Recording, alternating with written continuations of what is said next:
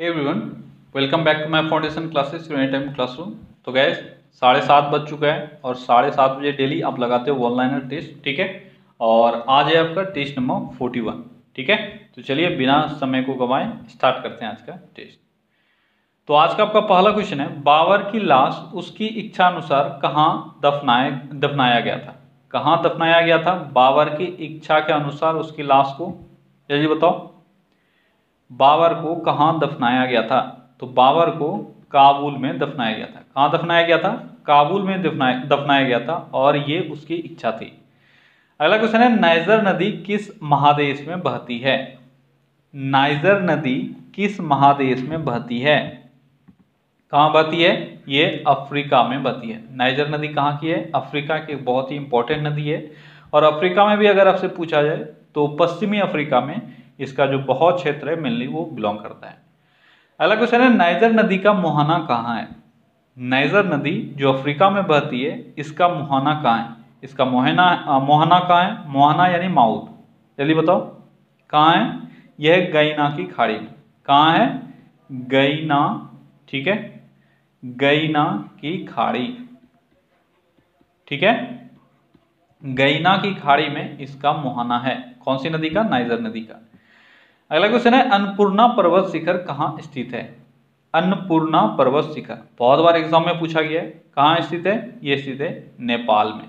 कहाँ स्थित है अन्नपूर्णा? अन्नपूर्णा नेपाल में स्थित है। अगला क्वेश्चन है, केपी नहर आंध्र प्रदेश को किस राज्य से जोड़ता है? केपी नहर, नाम आपने सुना होगा, आंध्र प्रदेश को किस राज्य से ये जोड़ता है? तो आंध्र प्रदेश और तमिलनाडु को ये जोड़ता है। अगला क्वेश्चन है, पायलट रहित प्रथम भारतीय यान का नाम क्या है? पायलट रहित प्रथम भारतीय यान का नाम क्या है? यह है लक्ष्य, ठीक है? क्या था? जो उसको जिसको भारत ने सबसे पहले बनाया था और ये पायलट रहित है यह है लक्ष्य, ठीक है? इससे मुझे याद आया, कल मैंने आपको एक क्वेश्चन पढ़ाया था, भारत का प्रथम उपग्रह, ठीक है? तो वहाँ पे मैंने आंसर आपको रोहिणी बताया था, ठीक है? थोड़ा सा वहाँ पे टाइपिंग एरर था और क्वेश्चन को बताने के टाइम में भी मुझे याद नहीं रहा।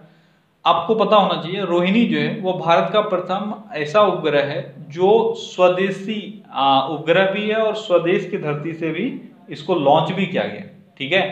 सबसे पहला जो उपग्रह है वह है आर्यभट्ट, ये आप सभी जान रहे हो, ठीक है? आर्यभट्ट और इसको कहाँ से लॉन्च किया गया था? रूस के मदद से लॉन्च किया गया था कॉस्मोड्रोम से। लेकिन हमने अपने धरती पर से जो लॉन्च किया, वो है रोहिणी, ठीक है? 80 में उसको लॉन्च हम लोगों ने किया था। तो आपका जो वहाँ पे क्वेश्चन है, थोड़ा सा एरर था। भारतीय होगा, ठीक है? भारतीय भूमि से जिसको लॉन्च किया गया तो वो होगा रोहिणी, ठीक है? उसको थोड़ा सा ध्यान रखना उसका। अगला क्वेश्चन है, यक्षगान किस राज्य का प्रसिद्ध लोक नृत्य है? यक्षगान किस राज्य का प्रसिद्ध लोक नृत्य है? कहाँ का है? यह है कर्नाटक का। कहाँ का है? कर्नाटक का प्रसिद्ध लोक नृत्य है यक्षगान। अगला क्वेश्चन है, औद्योगिक रूप से पॉलिथीन का निर्माण किसके बहुलीकरण से होता है? औद्योगिक रूप से पॉलिथीन का निर्माण किसके बहुलीकरण से होता है? जल्दी बताओ। किसके बहुलीकरण से पॉलिथीन का निर्माण होता है? तो ये होता है इथिलीन के। किससे इथिलीन के बहुलीकरण से, यानी पोलराइजेशन से हम लोग क्या करते हैं? हम लोग पॉलिथीन का निर्माण करते। हैं ठीक है? अगला क्वेश्चन है डेनमार्क की राजधानी कहाँ है? डेनमार्क की राजधानी कहाँ है? डेनमार्क की राजधानी कहाँ है? यह कोपेन हैगेन कहाँ है? कोपेन हैगेन सॉरी हैगेन ये है डेनमार्क की राजधानी। अगला क्वेश्चन है बीसीजी का टीका किस रोग से संबंधित है? बहुत ही आसान क्वेश्चन बीसीजी का टीका किस रोग से संबंधित है? तो ये टीबी से संबंधित है। अगला क्वेश्चन है, ट्रिप्सिन का निर्माण कहाँ होता है? ये मैंने आपको बताया था। फिर से मैं पूछ रहा हूँ ताकि आपका ये क्लियर हो जाए। ट्रिप्सिन का निर्माण कहाँ होता है? अगर कोई भूल गए हो तो इसको आज याद रख लेना। कहाँ होता है? ये अग्नाशय में इसका निर्माण होता है। ठीक है? और मैंने आपको बताया था कि ट्रिप्सिन का निर्माण ट्रिप्सिन के फॉर्म में नहीं होता है, बल्कि ये एक एक इनएक्टिव फॉर्म में होता है। ठीक है? जिसका नाम है ट्रिप्सेनोजैन। ठीक है? उसके बाद जब ये स्मॉल इंटेस्टाइन में जाता है, तब ये एक्टिवेट होता है और तब हम लोग इसको ट्रिप्सिन के नाम से जानते हैं। अगला क्वेश्चन है क्रायोलाइट किस धातु का अयस्क है? क्रायोलाइट किस धातु का अयस्क है? किसका अयस्क है क्रायोलाइट तो क्रायोलाइट जल्दी बताओ। आपने पहले भी पढ़ रखा है, ये एल्यूमिनियम का सॉरी एल्यूमिनियम का अयस्क है। किसका है क्रायोलाइट एल्यूमिनियम का क्या है। अगला क्वेश्चन है ब्लैक पेगोडा कहाँ स्थित है? ब्लैक पेगोडा कहाँ स्थित है? ब्लैक पेगोडा कहाँ स्थित है? जल्दी बताओ। तो ब्लैक पेगोडा जो है, वह सूर्य मंदिर है और ये हमारे देश में ही है, ओडिशा में स्थित। कहाँ स्थित है? ओडिशा में स्थित है ब्लैक पेगोडा, ठीक है?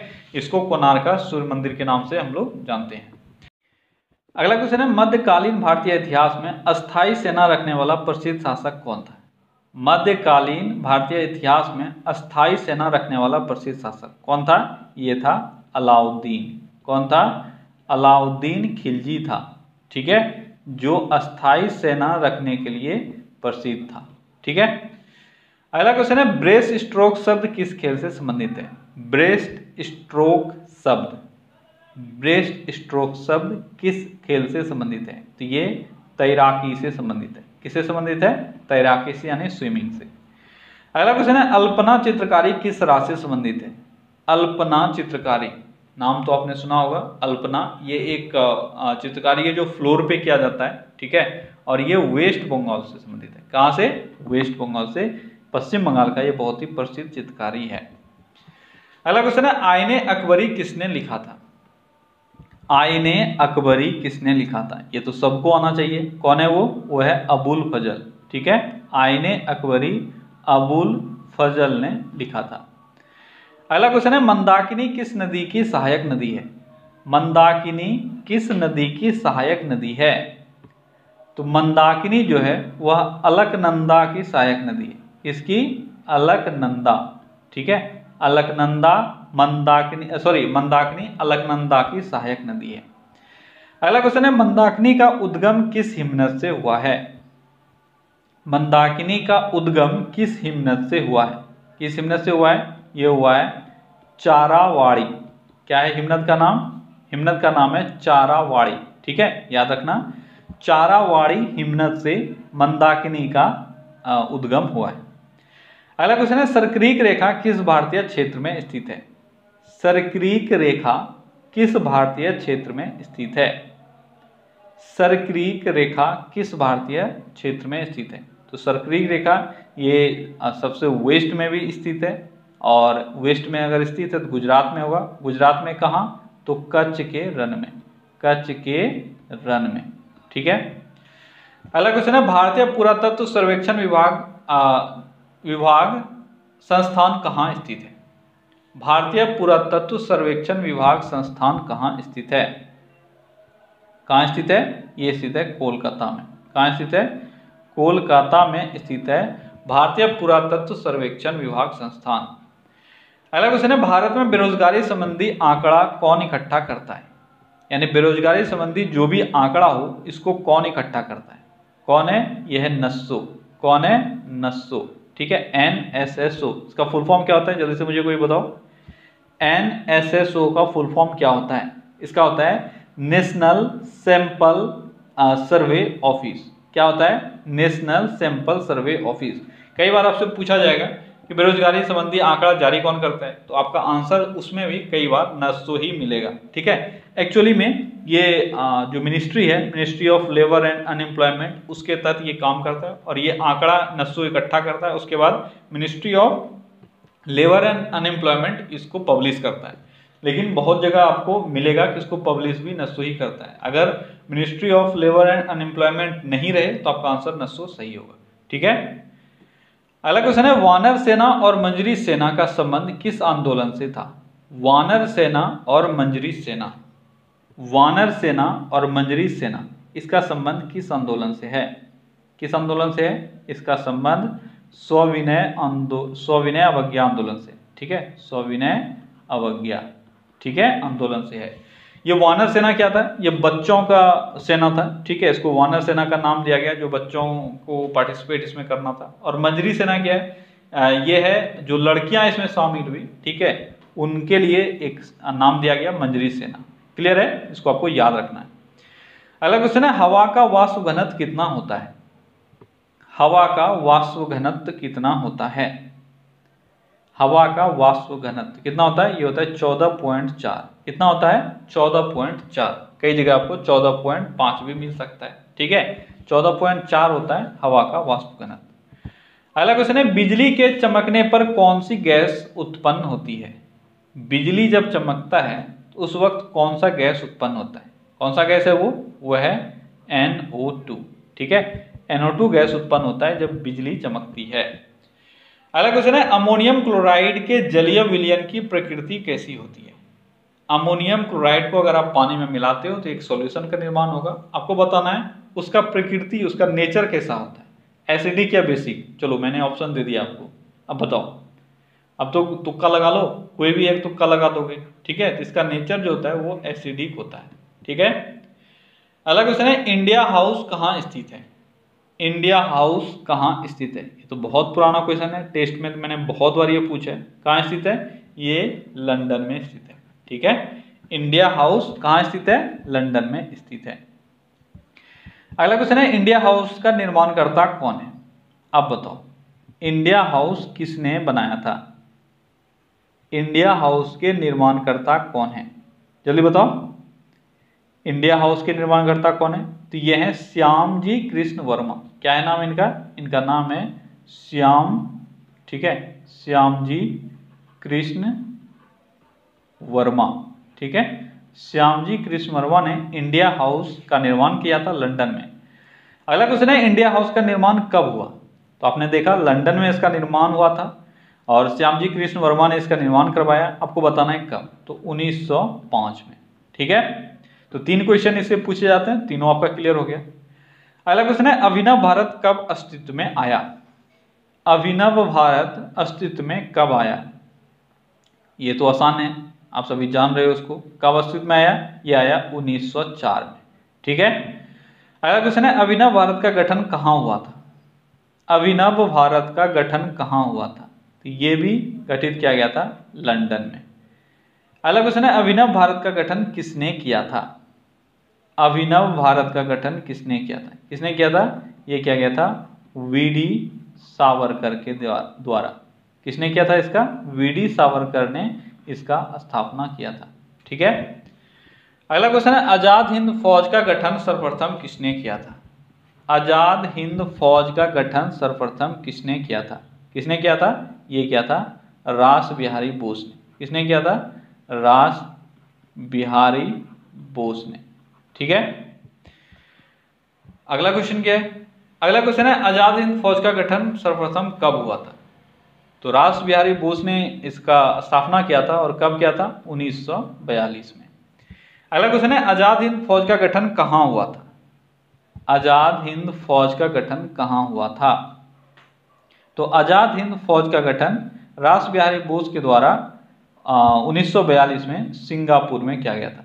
कहाँ किया गया था? सिंगापुर में। ठीक है? और 1942 में इसका गठन ज़रूर हुआ, लेकिन कुछ कारणवश ये कमज़ोर पड़ गया और 1943 में इसको फिर से रिकंस्ट्रक्ट किया गया सुभाष चंद्र बोस के द्वारा। ठीक है? इसलिए बहुत जगह आपको आंसर रास बिहारी बोस की जगह सुभाष चंद्र बोस भी मिलता है, लेकिन उन्होंने इसको रिकंस्ट्रक्ट किया था, इसका गठन नहीं किया था। अगला क्वेश्चन है, रविंद्रनाथ टैगोर को साहित्य के नोबेल पुरस्कार से कब सम्मानित किया गया? वो ईयर बताना है, जब रविन्द्रनाथ टैगोर को साहित्य के नोबेल पुरस्कार से सम्मानित किया गया था। और ये पहले भारतीय थे, पहले अश्वेत थे, जिसको साहित्य का नोबेल पुरस्कार मिला था। ये भी आपको याद रखना है। कब मिला था? 1913 में। ठीक है? किस पुस्तक के लिए? गीतांजलि के लिए। अगला क्वेश्चन है, चंद्रशेखर वेंकट रमन को भौतिक शास्त्र में नोबेल पुरस्कार कब प्राप्त हुआ?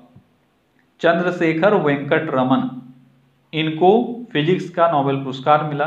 कब मिला? 1930 में मिला था। कब मिला था? 1930 में। अगला क्वेश्चन है, अकबर द्वारा दास प्रथा का अंत कब किया गया? अकबर द्वारा दास प्रथा का अंत कब किया गया? तो दास प्रथा का अंत अकबर ने पंद्रह ईस्वी में किया था। अगला क्वेश्चन है, अकबर ने तीर्थ यात्रा कर की समाप्ति कब की? तीर्थ यात्रा कर, ये पहले लिया जाता था, अकबर से पहले। लेकिन अकबर शासन में आने के बाद अकबर ने शासन में आने के बाद इसको कुछ दिन ही कुछ दिन के बाद ही समाप्त कर दिया गया था, अकबर के द्वारा। आपको बताना है कब? तो पंद्रह में, ठीक है? 1526 में अकबर शासन में आया, उसके बाद बहुत दिनों तक ये पेटीकोट शासन के अंतर्गत में रहा था। पेटीकोट शासन यानी जो फीमेल्स वगैरह थी वहाँ पे, वो लोग इनके जजमेंट पे हावी रहती थी, ठीक है? फिर ये अपने आप को पेटीकोट शासन से अलग करने में सक्सेसफुल रहे। उसके बाद ये अपना डिसीज़न लेने लगे। और सबसे पहले इन्होंने दास प्रथा का अंत किया बासठ में और तिरसठ में तीर्थ यात्रा कर को समाप्त कर दिया। अगला क्वेश्चन है अकबर ने जजिया कर कब समाप्त किया था? जजिया कर कब समाप्त किया था? ये क्या था? पंद्रह में। ठीक है तो ये लगातार तीन है, आपको याद रखना है। बासठ, तिरसठ, चौसठ। बासठ में दास प्रथा तिरसठ में तीर्थ यात्रा कर और चौसठ में जजिया कर ठीक है? अगला क्वेश्चन है ब्रिटिश काल में 1859 में, रिसरा में कौन अच्छा 1859 नहीं होगा। अब देखो, ऐसे क्वेश्चंस कभी कभी ना टाइपिंग एरर ऐसे क्वेश्चंस में हो जाते हैं। 1855 ठीक है? 1855 में ब्रिटिश काल में रिसरा में कौन सा उद्योग लगाया गया था, ये आपको बताना है। कौन सा उद्योग है, जो 1855 में रिसरा में लगाया गया था, ये मैंने पढ़ा रखा है आपको। आपको याद होना चाहिए 1855 में ब्रिटिश काल में पहला जूट उद्योग लगाया गया था। कौन सा है? जूट या पटसन, ठीक है? इसका उद्योग लगाया गया था रिसरा, ये वेस्ट बंगाल में है, और ये भारत का संभवतः पहला जूट उद्योग था। अगला क्वेश्चन है, ब्रिटिश काल में प्रथम लौह इस्पात कारखाना कहाँ खोला गया था? ब्रिटिश काल में प्रथम लौह इस्पात कारखाना कहाँ खोला गया था? ये खोला गया था कुल्टी में। कहाँ खोला गया था? कुल्टी में खोला गया था, ये भी मैंने आपको पढ़ाया हुआ है, ठीक है? ये कुल्टी भी वेस्ट बंगाल में ही है, ठीक है? अगला क्वेश्चन है, ब्रिटिश में प्रथम लौह इस्पात कारखाना कब खुला था? बताओ। अभी आपने देखा कहाँ खुला था? अब आप बताओ कब खुला था। कब खुला था? कुल्टी में ये 1874 में। 1874 में पहली बार खोला गया था। ठीक है? अगला क्वेश्चन है, अमेरिका अपना स्वतंत्रता दिवस कब मनाता है? अमेरिका अपना स्वतंत्रता दिवस कब मनाता है? तो अमेरिका अपना स्वतंत्रता दिवस चार जुलाई को मनाता है। कब? चार जुलाई को। अगला क्वेश्चन है, जी मार्कोनी किस देश का नागरिक था? जी मार्कोनी, नाम तो आप सभी जान ही रहे हो। अब आपको बताना है, ये किस देश के नागरिक थे? जल्दी बताओ। जी मार्कोनी किस देश के नागरिक थे? ये इटली के नागरिक थे। कहाँ के थे? इटली के। अगला क्वेश्चन है बोंगाई गाँव। बोंगाई गाँव तेल सोदा कारखाना कहाँ स्थित है? बोंगाई गाँव। बोंगाई गाँव या बोगाई गाँव आपको मिलेगा। ये बोंगाई शायद नहीं मिलेगा आपको, ठीक है? बोगाई गाँव था ये। बोगाई गाँव तेल सोदा कारखाना कहाँ स्थित है? बोगाई गाँव तेल सोदा कारखाना। ये कहाँ स्थित है? ये असम में स्थित है, ठीक है? अगला क्वेश्चन है, किस चार्टर एक्ट के तहत ईस्ट इंडिया कंपनी का भारत में शासन समाप्त हो गया? क्वेश्चन को ध्यान से पढ़ना है, नहीं तो ऐसे क्वेश्चन में आप गलत कर बैठोगे। क्वेश्चन बोला आप बोल रहे हैं किस चार्टर एक्ट के तहत ईस्ट इंडिया कंपनी का भारत में शासन समाप्त हो गया? अगर शासन समाप्त हो गया, ये पूछा जाए तो ये होगा 1858 का। एकाधिकार समाप्त हो गया, ये पूछा जाए तो होगा 1813 का। और एकाधिकार चाइना में कब समाप्त हो गया, ये पूछा जाए तो 1833 होगा। तो तीनों को आपको अच्छे से याद रखना है, ठीक है? अगला क्वेश्चन है, बॉम्ब डीला दर्रा कहाँ स्थित है? बॉम्ब डीला दर्रा कहाँ स्थित है? बॉम्ब डीला दर्रा कहाँ स्थित है? जल्दी बताओ। एग्ज़ाम में बहुत बार ये पूछा गया। बॉम्ब डीला दर्रा ये अरुणाचल प्रदेश में स्थित है। कहाँ स्थित है? अरुणाचल प्रदेश में स्थित है। अगला क्वेश्चन है, माहिम क्रीक कहाँ स्थित है? माहिम क्रीक कहाँ स्थित है? सर क्रीक आपने देखा, ये गुजरात में स्थित है, ठीक है रन के कच्छ में। अब आप कच्छ के रन में। अब आपको बताना है, माहिम क्रीक कहाँ है? यह मुंबई में स्थित है। कहाँ स्थित है? मुंबई में स्थित है। अगला क्वेश्चन है, रुद्रप्रयाग में अलकनंदा किससे मिलती है? रुद्रप्रयाग में अलकनंदा किससे मिलती है? ये मैंने आपको पढ़ा रखा है। बस मैंने आज उलट के आपको पूछा है। मैंने आपको पूछा हुआ था, अलकनंदा जिसके साथ आपको बताना है, वो कहाँ मिलती है उसके साथ? तो रुद्रप्रयाग में। अब आपको बताना है, कौन सी नदी है वो? वो है मंदाकिनी, जिसके बारे में आज आपने बहुत कुछ पढ़ा है। ठीक है? तो मंदाकिनी से रुद्रप्रयाग में अलकनंदा मिलती है। क्लियर है? आपको ये याद रखना है। ओके तो ओके गाइज़ तो यहाँ पे आज आपका 50 क्वेश्चन पूरा होता है और आई होप कि आज भी आपने डे की तरफ़ कुछ ना कुछ सीखा ही होगा। ठीक है? सीखने से ज़्यादा मेरा यहाँ पे फोकस रहता है कि आपका जो चीज़ है वो प्रैक्टिस होता जाए रिवाइज होता जाए। ठीक है? क्योंकि ये सारे ऐसे क्वेश्चन है ना, कभी ना कभी एग्ज़ाम में पूछे जा चुके हैं। इसमें से एक भी ऐसा क्वेश्चन नहीं है जो आप ये सोचो, जो मैंने खुद बनाया है। ये मैंने बस कलेक्ट किया है, जो कभी ना कभी एग्ज़ाम में पूछा गया है। इसलिए मैंने इसका नाम रखा है पारंपरिक जीके ठीक है? अगर इसमें आपको कॉन्फिडेंस आ जाए ना तो आप एग्ज़ाम में 60 परसेंट आराम से कर लोगे। 60 परसेंट कोई भी एग्ज़ाम में आप बैठे हो 60 परसेंट क्वेश्चन आप सॉल्व कर लोगे, अगर इसमें कॉन्फिडेंस आ जाए। और अगर छोटे एग्ज़ाम का मैं बात करूँ तो 60 टू 80 परसेंट क्वेश्चन यहाँ से रहते हैं। 60 टू एटी परसेंट, ये बहुत बड़ा नंबर होता है, ठीक है? 60 परसेंट में तो आपका सिलेक्शन हो जाता है। तो ये चीज़ें हैं जिसको आपको याद रखनी है और अच्छे से प्रैक्टिस करते जाना है। जितना मैं पढ़ा रहा हूँ इस सेशन में, सबको आपको याद रखना है। आप अंदर से एक बूस्टअप आपको फील होगा जब आप इस सेशन को पूरा कवर करोगे कम से कम एक से दो महीने तक, ठीक है? चलिए, कल फिर से मिलते हैं अगले सेशन में। Till then take care bye